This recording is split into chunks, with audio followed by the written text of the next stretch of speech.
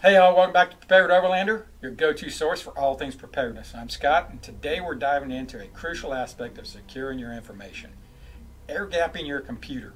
This is especially important for preppers, so let's explore the benefits and how you can use this information to enhance your preparedness. But before we get started, don't forget to hit that subscribe button and ring the bell for more valuable content. All right. Now, before we jump into this, uh, if it looks like I'm reading something, I am.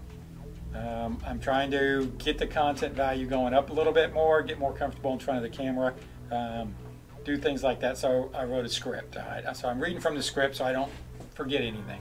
All right? So I'm not good at a teleprompter. Um, so that's what you're, if you see that it looks like I am, eh, that's what I'm doing. It'll probably be a little bit um, dicey like this for a couple of uh, episodes that I'm going to be doing, but eventually I'll get the hang of it, and then we'll we'll go on from there. All right.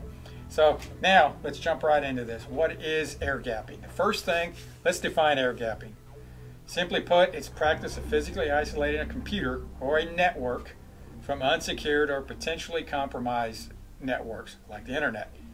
By doing this, you create a barrier that enhances the security of your information. Now let's talk about the benefits. One major advantage is protection against cyber threats. Without a direct connection to the internet, your computer becomes immune to online attacks such as malware, phishing, and ransomware. This is a game changer for preppers who prioritize the security of their sensitive data. Another benefit is increased privacy.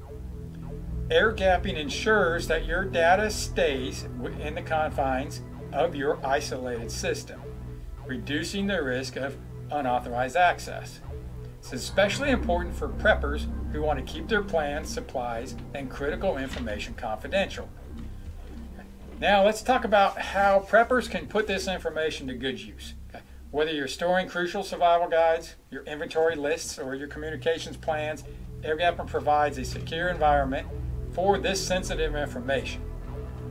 You can use a dedicated computer or external hard drives that are never connected to the internet to store and access your prepping data.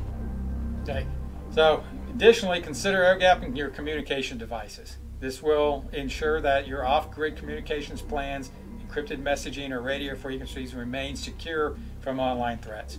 It's all about adding layers, physical layers of security to your prepping strategy. Okay? You have to do those layers. Nothing is is based on just one thing. It's all layers, layers of security. Okay. Now, a few quick tips for effective air gapping. Regularly update your off uh, your offline systems with the latest security patches and software updates. This helps in mitigating potential vulnerabilities.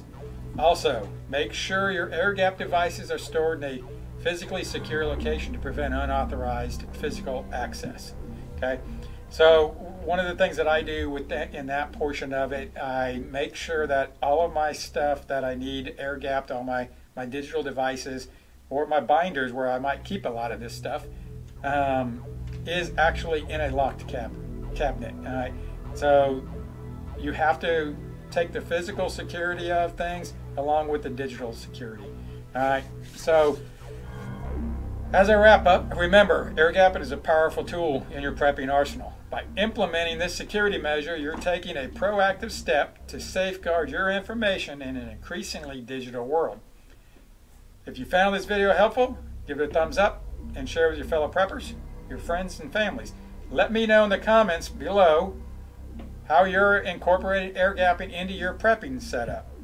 Um, if you're not, let me know if, if you decided you're gonna you're gonna possibly do this. Okay. Until next time, I'm Scott from the Prepared Overlander, urging you to stay vigilant, stay secure, and stay prepared. Thanks for watching.